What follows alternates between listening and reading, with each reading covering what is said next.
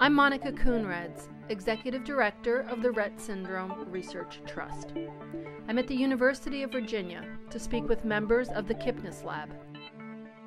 Noel Derecki, Jim Cronk, and Jonathan Kipnis about their publication published online on March 18th in the journal Nature.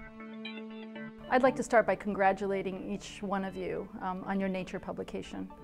I've um, been following your Rett experiments, I think, practically from day one, sometimes on a daily basis, and it's been a truly unique um, and interesting experience. So you are a lab of neuroimmunologists, which means you study the intersection between the nervous system and the immune system. When visitors come to your lab website, the first thing that they see is the following text. Our motto is rationalists do it by the rules, empiricists do it to the rules. We proudly admit to being empiricists because doing risky and sometimes crazy experiments is what we believe moves science forward. I like that, and I, I think I share that philosophy. Um, the Rett Syndrome Research Trust has not shied away from funding risky experiments doing bone marrow transplants in Rett mice will be thought of, I think, by some as rather far-fetched. So Dr. Kipnis, and if you don't mind, I'm going to call you Yanni because that's what I usually call you. Yanni, what made you come at Rett from this particular angle? Well, let me start from my past. I was really lucky to be trained with one of the great neuroimmunologists, um, Professor Michal Schwartz at the Weizmann Institute. And so when I joined their lab, they were working on the role of immune cells in injured CNS, injured central nervous system. Then I took over this project and we, we, took it later into more how T cells are helping animals deal with stressful responses. And so one day reading, uh, reading about the Rett syndrome, uh, it looked to me very similar to how our immune deficient or T cell and B cell deficient mice do. And so I thought, what if immune system plays some role in, in some of the aspects of this disease?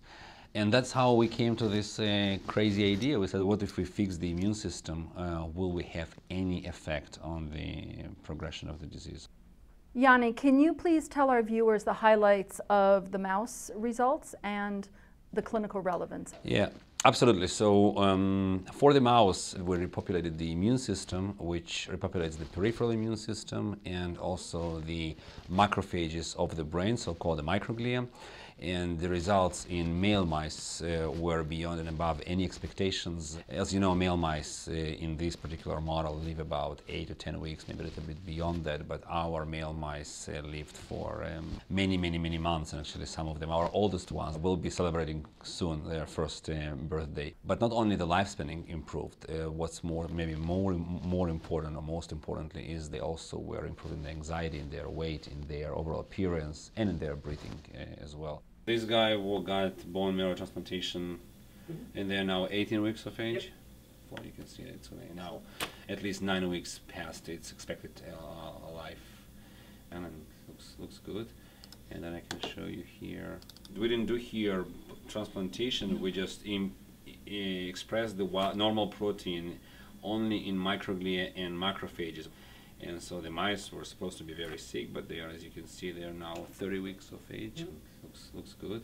So the results in mice look fantastic, but um, as you may know, uh, we are, I mean, many of the mouse diseases uh, we are able to fix, and now obviously the major question is how we translate this knowledge into the clinical, into the clinics. When we talk about treatments and cures for Rett syndrome, sometimes we use words interchangeably. Words like reversal, mm -hmm. rescue, arrest, and I think that causes some confusion. So to illustrate, I'll use the, um, the now famous Bird reversal experiment, which was published in Science in 2007. In that experiment, um, the Bird lab took adult mice, and by reactivating MECP2, they really did get a reversal of practically every symptom. And the male mice went on to live a normal lifespan. I think an, an, another example that we can use is um, the IGF-1 um, paper, which came out in PNAS in 2009. And that really is not a reversal in the same sense of the word. Um, IGF one treatment was started in male mice when they were two weeks, so it's before they were symptomatic. And um, symptoms were delayed, which is good news, um, but eventually they did come back, and the mice still died very prematurely. Um, they, so the lifespan increase was about four to five weeks. So that you can, it's not a reversal, it's a rescue and it's kind of a temporary rescue of about a month. But I would like to uh, just to emphasize that we're not calling our data, our results a, a reversal. reversal. Uh, absolutely not. This is probably the arrest yes. or a slow down or arrest of Rett symptoms. But arrest for a long time. arrest for a long time. Arrest for a long time. Yeah. You also um, did bone marrow transplantation in pre-symptomatic animals. Right. Uh, in male mice, mice, you did it at four weeks. In female mice, two months. And you were able in male mice to really, as you have mentioned a couple of times, to extend lifespan dramatically by a year. So Yanni, can you talk to us a little bit about um, the decision as to the timing of when to do the transplant? Yeah, you know, it's actually it's a pretty interesting question. Uh, the decision was we wanted to hit the, the, the immune system before the, it's too late because it takes about four weeks for the immune system to get uh, reconstituted and then about another couple of weeks uh, for microglia to get engrafted. If the cells have not enough time to get into the brain, we just the, the, the, disease wins. Therefore, we started at four weeks of age. We actually have another experiment in that paper where we start uh, later, about six and a half, seven weeks of age, where the mice are very, very, very sick. And interestingly, we do extend their lifespan. But the problem is that the mice still die pretty young because it probably the time point for microglia incorporation or engraftment uh, takes go, goes slower than the disease. With female mice, we we absolutely we could have started way later than two months, and we're now actually doing experiments where we do transplantation after the disease is already So once there. the females once are females symptomatic. Sick, absolutely. And so can you share anything about? Well, I think it's too too early yet, but but we are we're really hoping that we will have some data sometime sometime soon. Okay. So let's dig into the data a little bit. So apart from the very clinical um, relevance uh, of your findings, you've also made some very significant discoveries about the molecular underpinnings of MECP2. So um, Noel, perhaps you can start us off by telling us a bit about your results. Sure. The angle that we, we were sort of uh, approaching this from in the beginning was the immune system being able to boost uh, uh, BDNF production in the, uh, the central nervous system. Uh, I, think it was, I think it was a big surprise to us that when we perform our uh, uh, bone marrow uh, transplantations, uh, we don't just replace the, the uh, immune system that's, that's in the body. It turns out that we are also able to replace a number of the immune cells that uh, are, are in the brain. So it seems that we're able to help the other cells that are, that are hard at work there, the neurons, um, the glia, which were shown uh, very recently to be important in, in Rett syndrome to work better. Jim, you had some very interesting findings about a process called phagocytosis. Mm -hmm. yeah, Perhaps right. you can tell our audience what that is and Sure, sure, yeah. So uh, phagocytosis is the process by which uh, cells in the body, typically immune cells is the way it's thought of, uh, actually either eat invading bacteria or, or just clean up debris and dead cells from normal processes in the body. Um, and so, you know, we thought, well, what could microglia be doing in the brain that might be so beneficial beyond just, uh, you know, supporting the neurons, et cetera, et cetera. And one of the, their primary jobs is to phagocytose things. So if a cell dies, um, something needs to clean all that stuff up.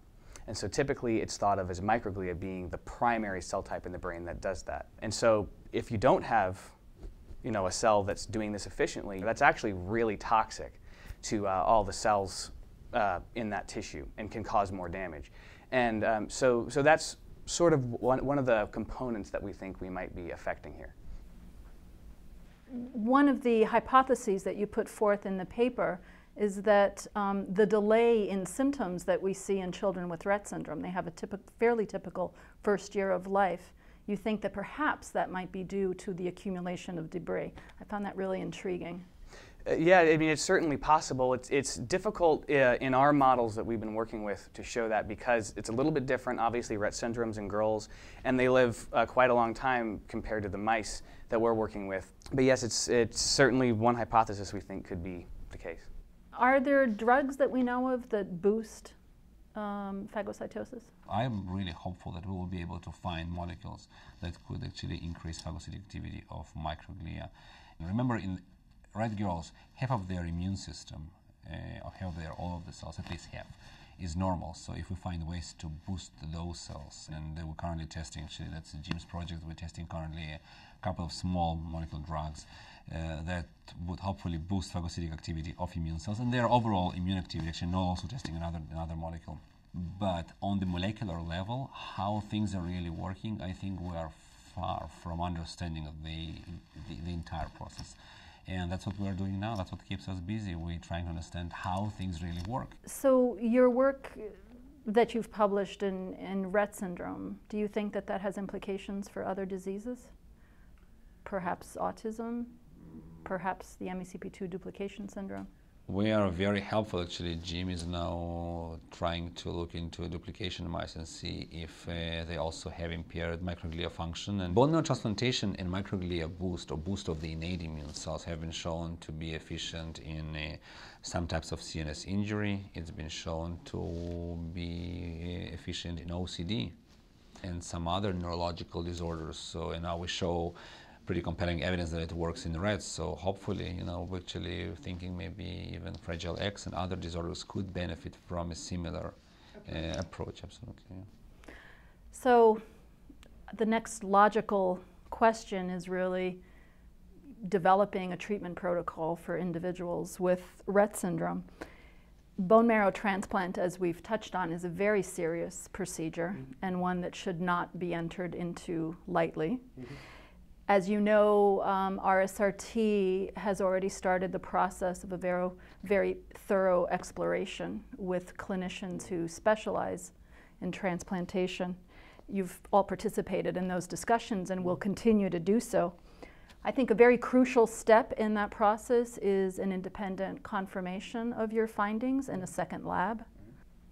So on behalf of uh, families everywhere who love a child with Rett syndrome, I want to thank you for your creative and really innovative work.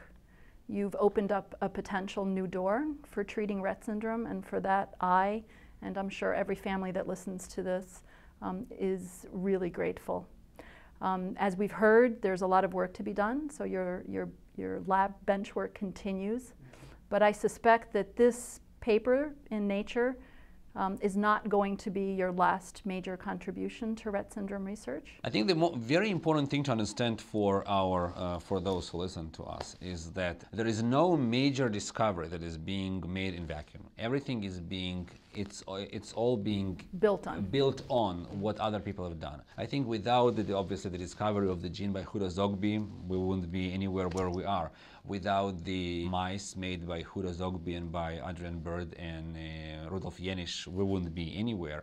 And then recent discoveries by the Gaiman Delgrag lab that actually astrocytes are playing a role as well in the in, in, in the in the Rett syndrome. And I wish other researchers in other fields and other diseases would have been as generous. collaborative, as generous mm -hmm. as, as those in, in Rett field. Absolutely. Yes, I think we are lucky in that respect. We are absolutely, absolutely. I wish you a lot of success and Godspeed, and uh, we look forward to keeping our viewers um, up to date on your developments. Thank you. Thank you. And I would like to thank uh, Monica, uh, the families, and particularly RSRT and you as well. I mean, probably you more than anybody else for our continue for your continued support. And without RSRT, without your involvement, and I mean, we wouldn't be anywhere close where we are.